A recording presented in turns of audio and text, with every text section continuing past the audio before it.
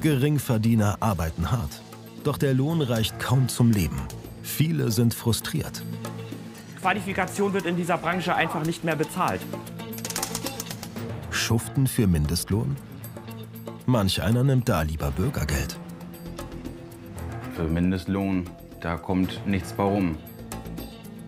Die Unternehmer verzweifeln. Ein Metzger findet keine Mitarbeiter. Ihm stinkt die fehlende Motivation der Bewerber. Es will keiner wirklich arbeiten, habe ich das Gefühl.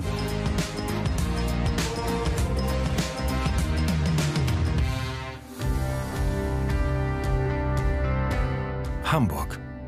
Eigentlich eine boomende Metropole. Doch Angestellte wie Oliver Rieck fühlen sich immer mehr abgehängt. Steigende Preise belasten die Haushaltskasse des 42-Jährigen. Dabei hat er den Vollzeitjob in der Küche aus Überzeugung gewählt. Minestrone läuft auch. Ja. Aus. Ich mache das jetzt ja schon über 20 Jahre und das ist halt geil. Das gibt nichts Geileres. Es gibt nichts Besseres als Gastronomie. Ja, ich kann mir nicht vorstellen, irgendwo mit einem, in einem Anzug in einem Büro zu sitzen. Hier sind lauter Kollegen, hier ist heiß, hier ist Action. Olivers Stundenlohn liegt bei 16 Euro. Er bekommt für 176 Stunden Arbeit im Monat 2800 Euro brutto. Netto sind das 1800 Euro.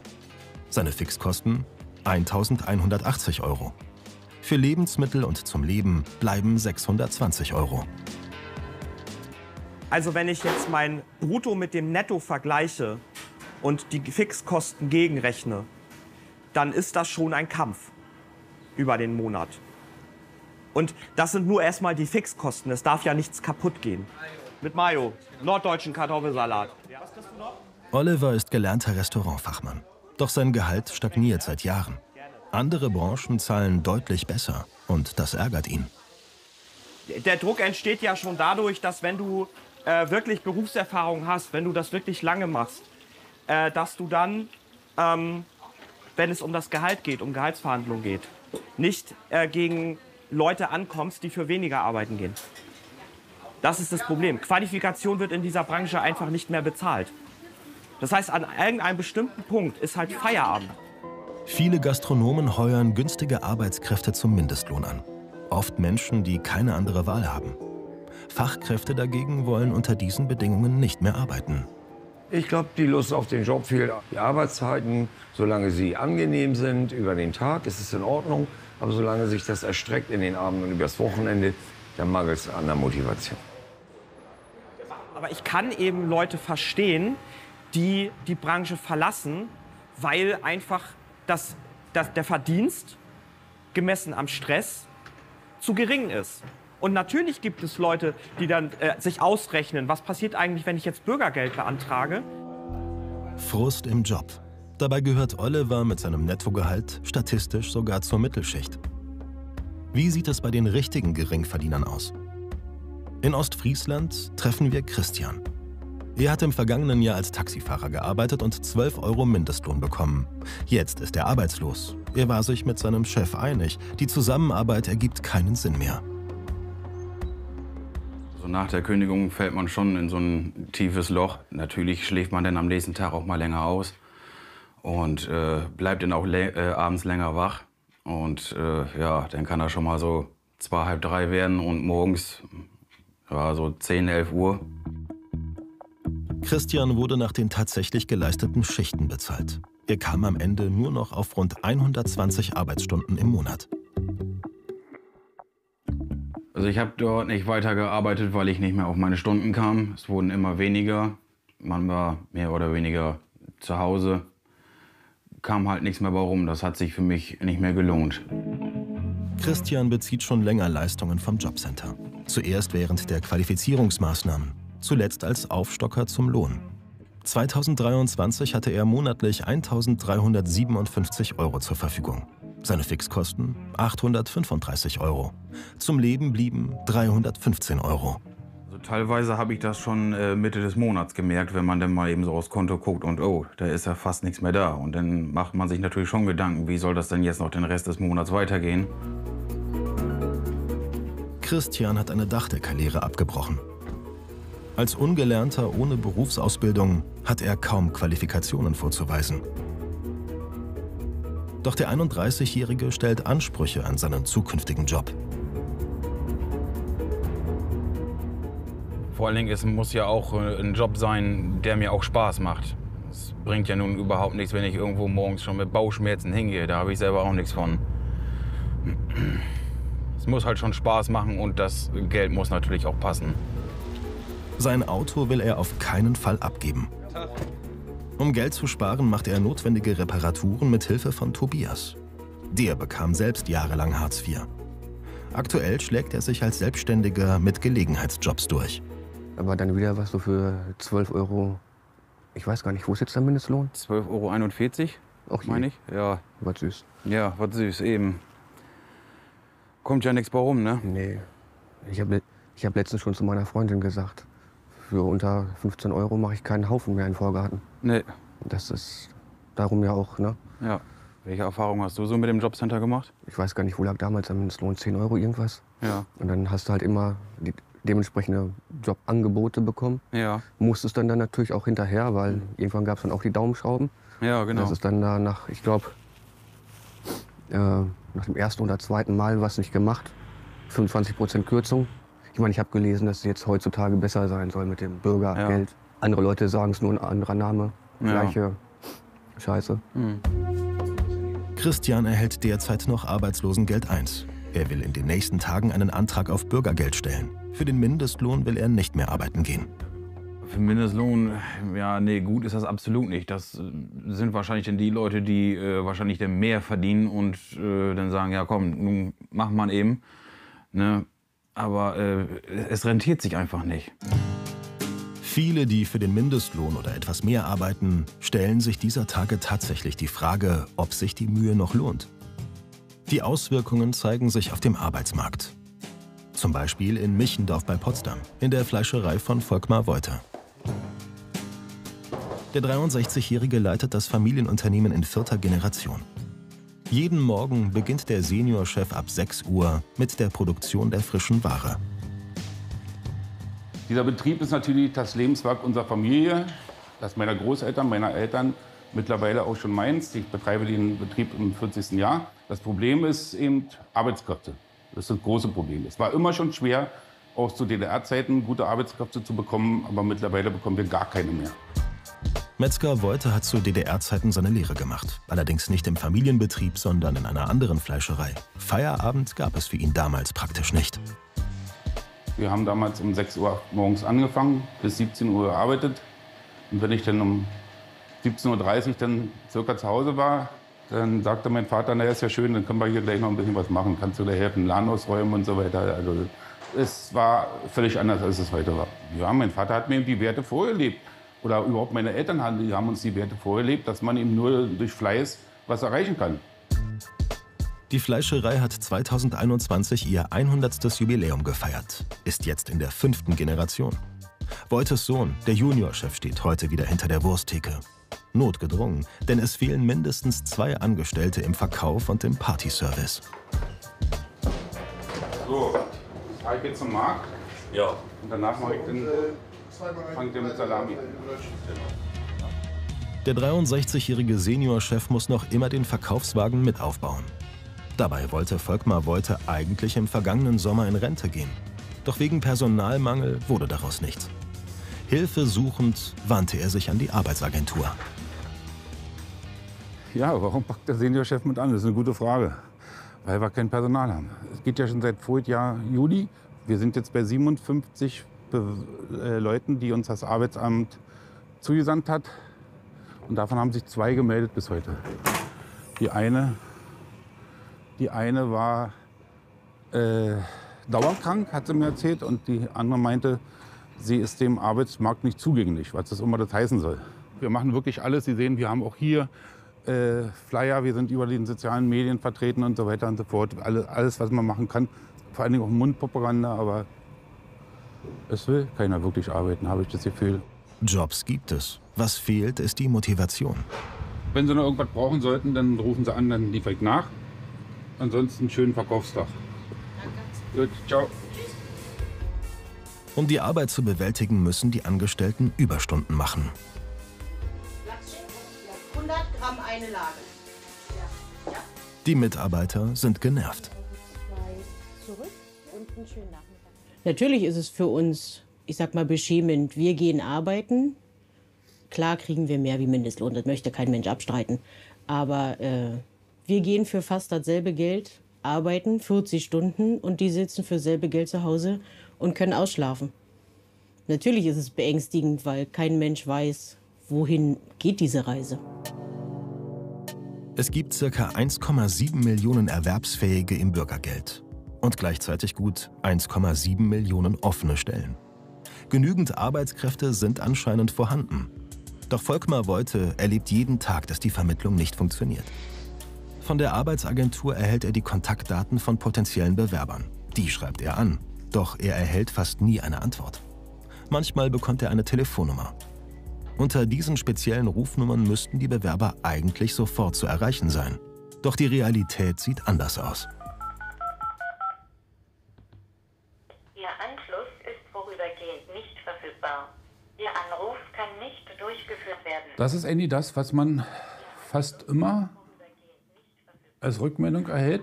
Es macht mich sprachlos, ja, sicherlich. Ich meine, ich kann mich nicht einerseits als arbeitssuchend ausgeben und dann, wenn mir Arbeit angeboten wird, äh, mich nicht mal melden. Ja, und, und, und, und nicht mehr bereit zu sein, ein Gespräch mit dem Betrieb zu führen. Das ist das große Problem für mich.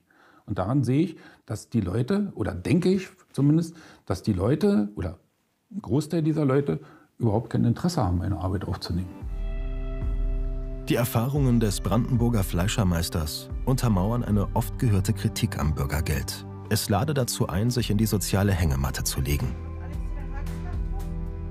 Dabei gibt es viele Menschen, die aus Not einen Bürgergeldantrag stellen. Wie Jessica. Vor 17 Jahren wusste die dreifache Mutter nicht mehr, wie sie ihre Kinder versorgen sollte. Ich hatte damals kein Problem gehabt, damit Hartz IV zu beantragen. Mein Mann war voll arbeiten, ich war voll arbeiten in der Ausbildung.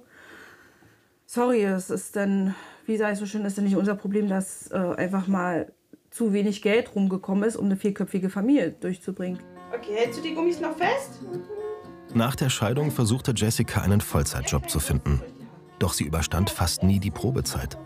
Sie kam auf zu viele Fehlzeiten, weil sie sich um ihre drei Kinder kümmern musste. Also als Alleinerziehende aus diesen Sozialleistungen rauszukommen, ist verdammt schwer.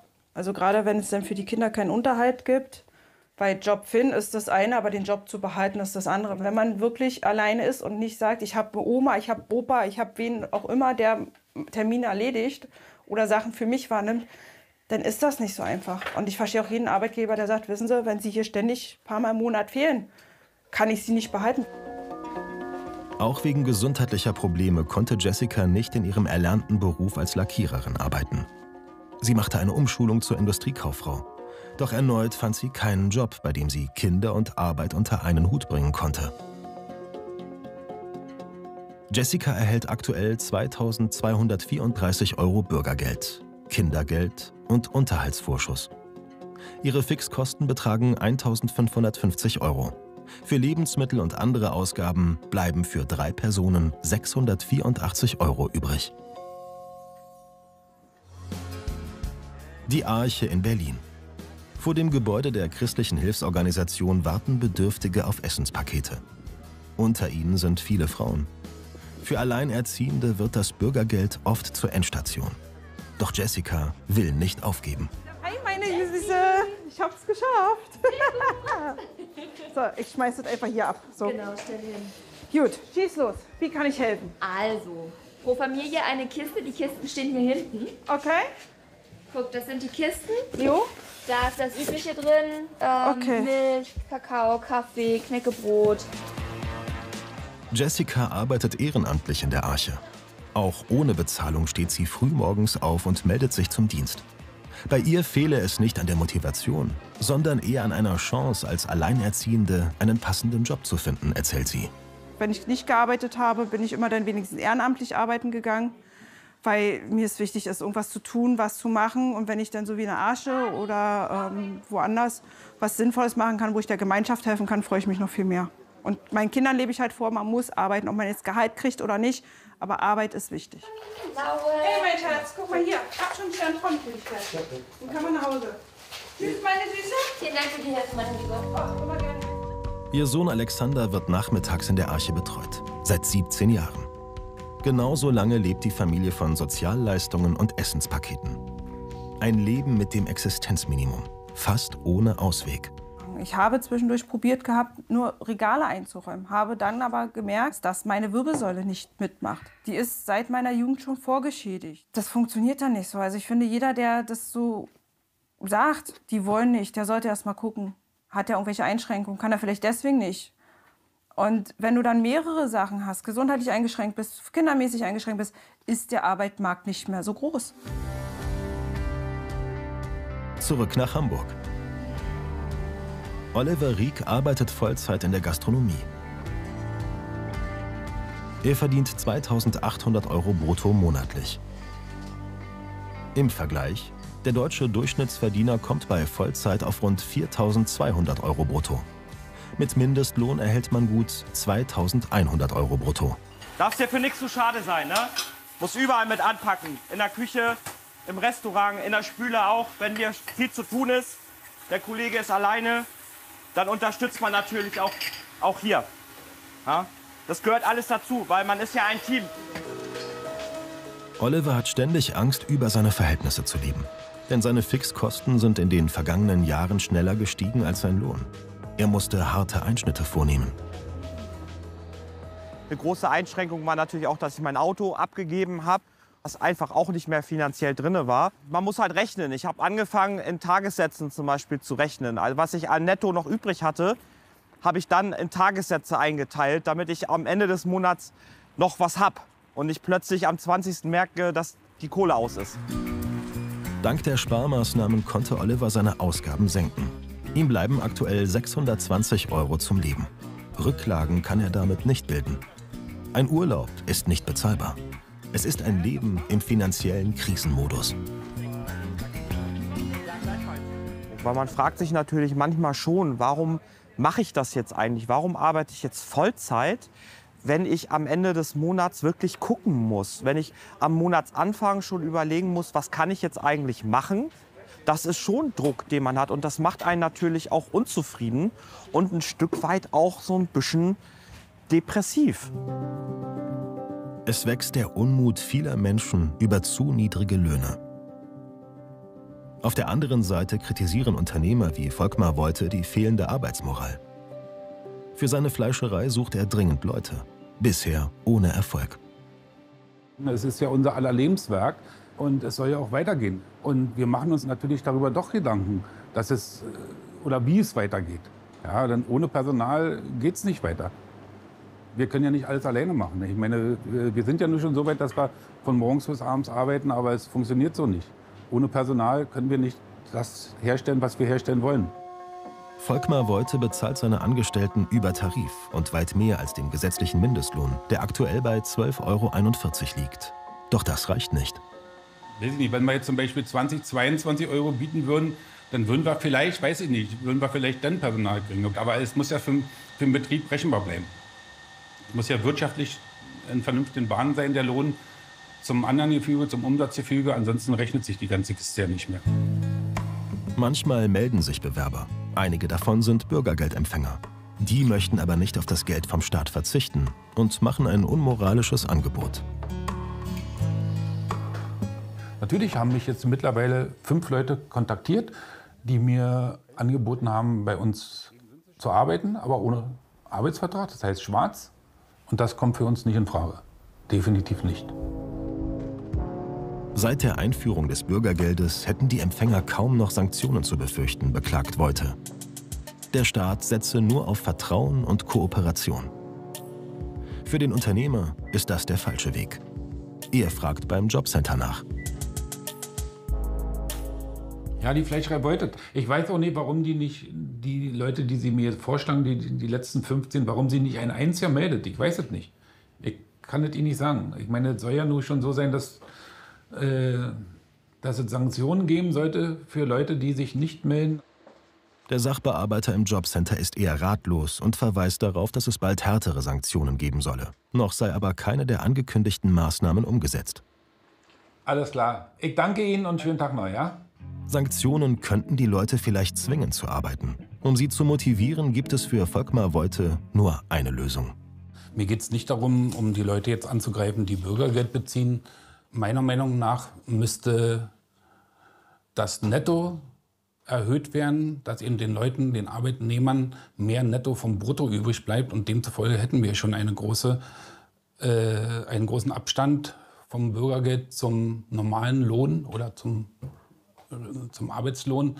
Und das würde meiner Meinung nach den, die Motivation schon mal sicherlich erhöhen. Aurich in Ostfriesland. Christian bereitet heute seinen Bürgergeldantrag vor. Er hatte seinen Job verloren, auch weil er nicht mehr zum Mindestlohn arbeiten wollte. Also peinlich ist mir das überhaupt nicht, Bürgergeld zu beantragen, weil man muss ja von irgendwas leben. Und äh, ich möchte mich auch in Zukunft nicht ausnutzen lassen. Es muss halt schon ein passender Job dabei sein, der vernünftig bezahlt wird. Und äh, ja, man muss ja auch von irgendwas leben können. Christian hofft, dass das Jobcenter seine Miete sowie die monatlichen Fixkosten übernimmt und das Bürgergeld seinen Lebensunterhalt deckt.